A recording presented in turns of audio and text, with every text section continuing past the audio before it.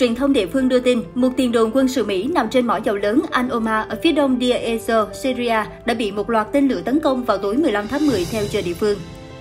Bộ Năng lượng Syria ước tính Mỹ và các đồng minh dân quân người Kurd kiểm soát tới 90% trữ lượng dầu và khí đốt của Syria.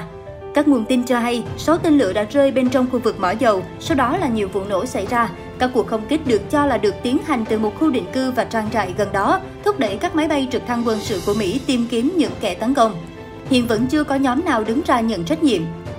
Theo Sputnik, Mỹ đã thiết lập đồn trú quân sự làng xanh tại mỏ dầu Al Omar vào năm 2018. Mỏ dầu này có sản lượng khai thác trước cuộc khủng hoảng năm 2011 là khoảng 30.000 thùng dầu thô một ngày.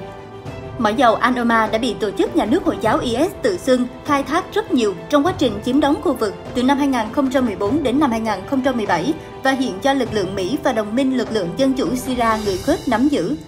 Theo Sputnik, đã có lượng dầu thô trị giá hàng trăm triệu đô la Mỹ được chuyển từ mỏ này qua Iraq. Cuộc tấn công bằng tên lửa hôm 15 tháng 10 là cuộc tấn công thứ ba nhắm vào lực lượng Mỹ ở Đông Bắc Syria trong một tháng. Trong đó có một cuộc nhắm vào làng xanh hôm 18 tháng 9 và một cuộc bằng tên lửa nhắm vào một đường băng quân sự gần các mỏ dầu Jumelan ở tỉnh Al-Hasakat hôm 8 tháng 10. Việc Mỹ chiếm đóng vùng Đông Bắc Syria đã làm giảm đi 90% nguồn tài nguyên dầu khí của Damascus, đồng thời tước đi nguồn vốn rất cần thiết của quốc gia này để tái thiết sau cuộc chiến kéo dài hàng thập kỷ, phía Syria cáo buộc. Khác với cựu Tổng thống Donald Trump, người công khai thừa nhận các lực lượng Mỹ đóng quân ở Syria để giữ dầu và đã cân nhắc về việc rút quân vào cuối nhiệm kỳ của mình. Chính quyền Tổng thống Joe Biden khẳng định quân đội Mỹ ở Syria để ngăn chặn sự hồi sinh của tổ chức khủng bố IS.